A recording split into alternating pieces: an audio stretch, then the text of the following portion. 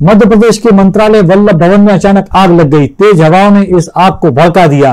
आग बुझाने के लिए नगर निगम के फायर स्टेशनों के अलावा बीएचईएल, एयरपोर्ट और सेना की भी साठ से ज़्यादा दमकलें बुलाना पड़ी। इस आग में कई महत्वपूर्ण दस्तावेज़ जल के खाक हो गए। मुख्यमंत्री डॉक्टर मोहन यादव ने इस अग्निकांड के जाँच के आदेश दिए।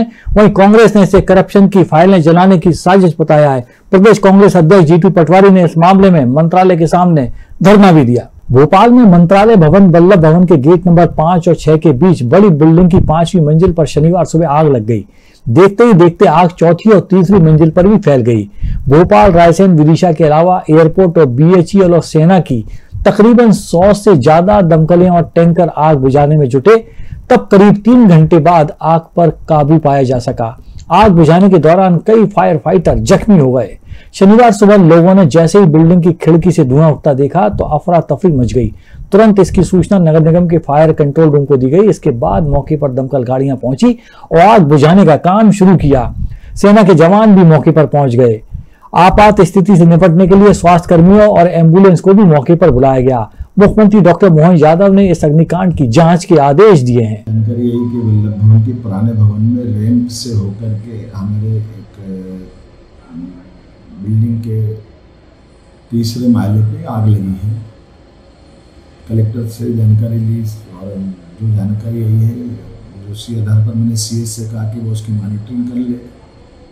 आग की घटना की पूरी विस्तृत जानकारी भी आ जाए और मुझे बताया गया कि आग को कंट्रोल कर लिया गया है।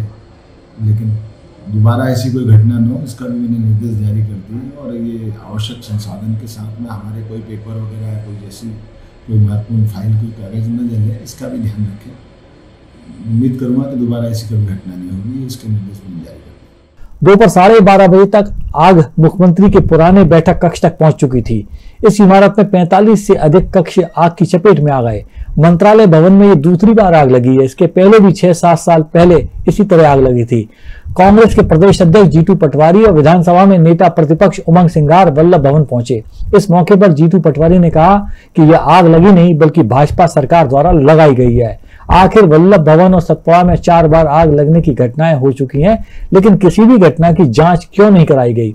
इस दौरान वल्लभ भवन परिसर में अंदर जाने से रोके जाने पर दोनों नेताओं की सुरक्षा कर्मियों से बहस भी हुई और वे गेट पर ही धरने पर बैठ गए। कांग्रेस नेताओं ने कहा, इस आगजनी में करप्शन की फाइलें जलाई गई हैं। आज का दिन फिर भारतीय जनता पार्टी के भ्रष्टाचार का काला चिट्ठा। करप्शन मैंने हर बार कहा, पर्ची के मुख्यमंत्री जो है हमारे, उन्होंने तीन सी से प्यार कर लिया एक कर्ज से करप्शन से और क्राइम से। करप्शन की फिर एक वानगी मिली है आज। वल्लभ भवन में आग लगा दी गई है। भारतीय जनता पार्टी लगातार करप्शन की फाइलें जला रही है प्रदेशवासियों, समझो। देखो, और, जो हर धर्मिता सार्वजनिक जीवन की राजनीतिक क्षेत्र में आप देख रहे हो, पूरे देश और प्रदेश में, उसका फिर ज्वलंत उदाहरण मध्य प्रदेश के सचिवालय में, वल्लभ भवन में देखने को मिला। बार बार कह रहा हूँ, एक लिस्ट भी मैंने जारी की थी। उस लिस्ट में पिछले पाँच साल में जिन जिन लोगों ने बीजेपी ज्वाइन की थी और कांग्रेस छोड़ी थी। उसमें से छह से सात लोग राजनीतिक क्षेत्र में अभी भीड़ का हिस्सा नहीं, बाकी सब भीड़ के हिस्से हैं। मेरी शुभकामनाएँ उनको।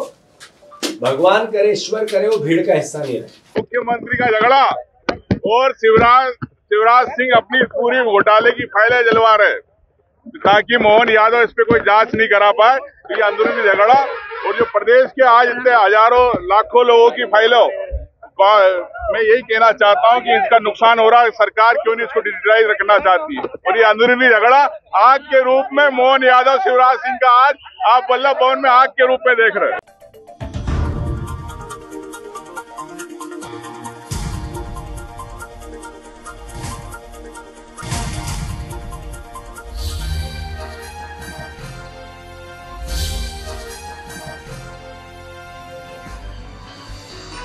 आप देख रहे हैं दखल न्यूज़।